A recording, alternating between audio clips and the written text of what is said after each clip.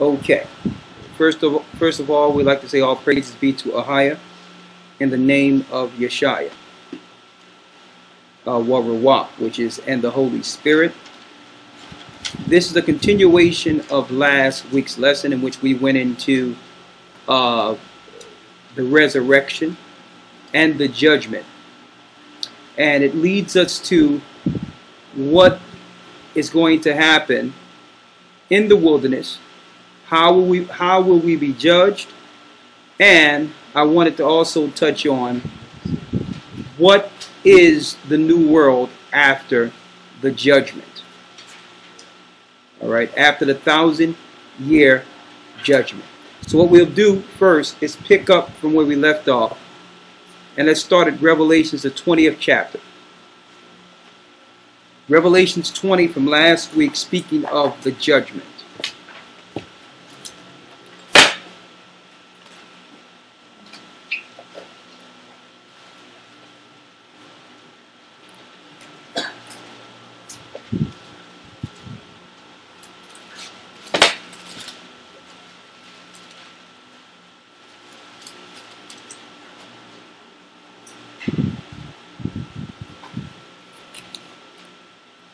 And before we go into Revelations 20, I want to touch something real quick uh, of importance.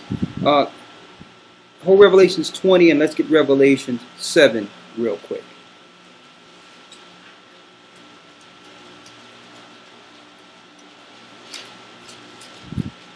Revelation 7, and then we'll pick up.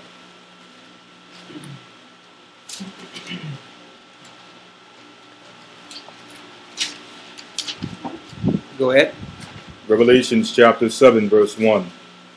And after these things, I saw four angels standing on the four corners of the earth. After these things, I saw four angels standing on the four corners of the earth, holding the four winds of the earth, that the wind should not blow on the earth, nor on the sea, nor on any tree. Go ahead. And I saw another angel ascending from the east having the seal of the living power. And he cried with a loud voice to the four angels, to whom it was given to hurt the earth and the sea, saying, Hurt not the earth, neither the sea, nor the trees, till we have sealed the servants of our power in their foreheads. So it told the four archangels, Do not hurt the earth or the sea until the servants are sealed. Now, when it says uh, to the angels not to hurt the sea. It's saying that originally you have to know that they are holding the four winds. They are holding the destruction that's in the power of Abaddon or Apollyon or Satan to destroy the earth. They're holding it off. So the Most High is letting us know that at this point the angels will stop holding back that destruction and allow it to go on on the earth. Okay? will allow those seals to be broken, in which Satan will begin to destroy the waters, destroy the people, on and on and on. Uh, release the demons like locusts on the people, like you see in the earth today. High level demon possession, like we were speaking of when we were talking about the truth, the truth behind this so-called zombie apocalypse. That now Satan have now began his total uh, destruction of the Most High's earth. Why? Because the angels did what? They stopped holding back the four winds. At one point, they held it back until the Most High said, okay, you can release it now. And now that the angels are not stopping Satan, Satan is doing everything he can to destroy the earth. And eventually, the earth will be utterly destroyed. But he said, hold back until what? And I saw another angel ascending from the east, having the seal of the living power. Go ahead. And he cried with a loud voice to the four angels, to whom it was given to hurt the earth and the sea, saying, Hurt not the earth, neither the sea, nor the trees. Go ahead. Till we have sealed the servants of our power in their foreheads. Until the servants are sealed. Now, let's see what that seal is. Let's go to Revelations and sow the seal of the Most High's name. Revelations chapter 14, verse 1. So we know that this seal is through the Holy Spirit. But with this, the 144,000 will, would be sealed with a particular name. Listen to this clearly. Revelations chapter 14, verse 1. And I looked, and lo, a lamb stood on the Mount Zion, and with him an hundred forty and four thousand, having his father's name written in their foreheads. Read it again. And I looked, and lo, a lamb stood on the Mount Zion, and with him an hundred and forty-four thousand, having his father's name written in their foreheads. Now, what does that tell us about the 144,000? Is the 144,000 trying to figure out the Most High's name?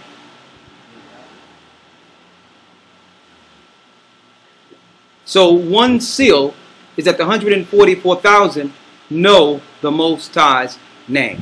And that would be common sense. Before he freed Moses, he gave his name to Moses for the children of Israel. By the same token, the 144,000 or the elect at the very end that will be in the people would have the seal of the name in their foreheads. They, they will know who the Most High is.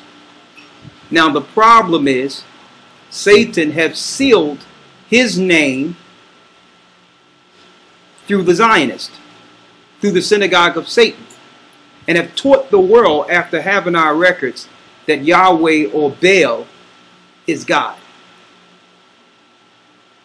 See that? So we know the 144,000 would not be deceived. See that? And we know the 144,000 learned after who? The 12 disciples. So the 12 disciples had the seal of the name of the Most High. They knew the Most High. So did our Lord and Savior. So that's key to know that the 144,000 will not be, they would not ever call on Baal. Okay, and I'm putting it out there again because so many people are trying to use uh, uh, certain so-called archaeology claiming that it's because the name Yahweh is written everywhere, it must be the name. Not understanding or knowing the infiltrators who have revealed the information to you, who have taken our records and scribed their God's name in our records and told you that this is the evidence uh, that should be presented for the Most High. The truth is real. The, the, uh, the scriptures are real, the precepts are real, but the God that they are ascribing to, and I'm talking about the uh, the Jewish powers, is Baal, Yahweh, another name for him in the English, Jehovah. Right? And I'm saying that is because we can't purposely call on another God and claim that we're serving the Most High. It's one thing in the past when we were in our ignorance and did not know. We knew no better. We didn't know better. And and what I would like to drive home is when it comes to the name of the Most High. You have so many people who try to explain off what the Most High said with his own mouth. And I, I will never get that argument in my life. How you need an hour video to break down what the Most High said. And it's in the Hebrew exactly what he said. It's in the Hebrew. Somebody pass me that Torah real quick. I think I have one here. I have one right here. A Hebrew Tanakh. So the 144,000 is not going to say, well, this is the Most High's name, but I'm going to tell you what it means and we're going to call them what it means. Which is further deception. Why? Because the Most High, the highest power, okay, he need to be reverenced for how he present, presented himself to his people. We can't say we know him and don't know his name. Eh, okay, I, I want to make that clear.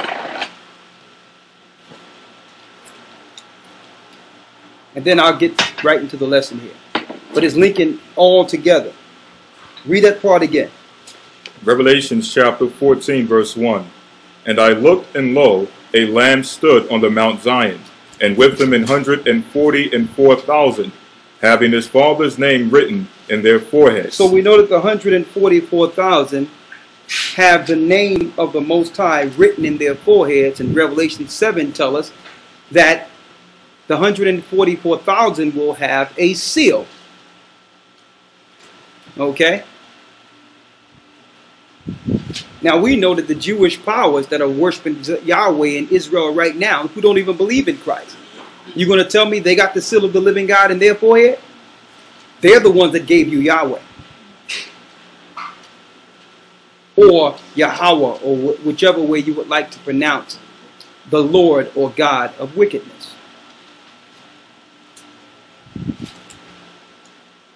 When I look at Exodus 3, it says here, Al Mashah Ahaya Ashah Ahaya, where it says his name.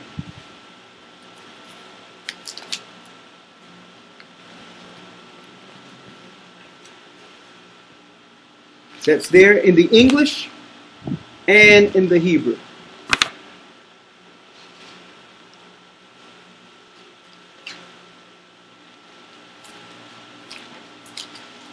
See if I can hold it still.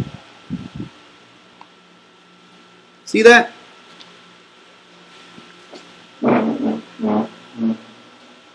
That's Ahaya Ashah Ahaya. And you see it right here.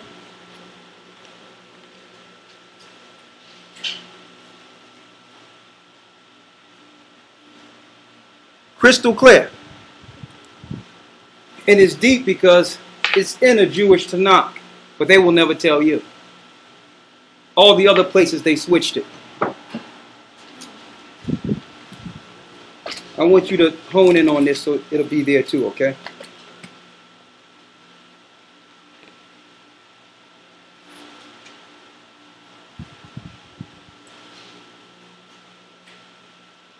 You have it? You got it? What? So we know that the 144,000 will, will know the Most High's name. And I'm saying this because so many people out there, we even have someone who want to invite us on a radio show to, to have a discussion with other Israelites concerning the Most High's name. Which is, which is utterly, utterly ridiculous. Why can't we just call him what he said, call him? Why do we have to have a dialogue to where someone will make a, a dialogue of the Most High's name an argument to show a division amongst brethren as the key point emphasis to say, well, if they're confused concerning the Most High's name, then we might as well call on Jesus then. Why should we be pulled into that type of meeting when, when the argument is futile? What did the Most High say? He said, Ahaya, Ashar, Ahaya. That's what he told Moses. And I don't care what type of argument or debate you can put on a table to say, well, what does that mean? The Most High didn't tell Moses to tell Israel, give Israel the meaning of my name. Okay? He made it clear. I am that I am. He did not say, I need you to tell them the meaning of my name, and that's my name. Okay? And I'm putting it out there because they want to invite us on these shows so we can debate the Most High's name.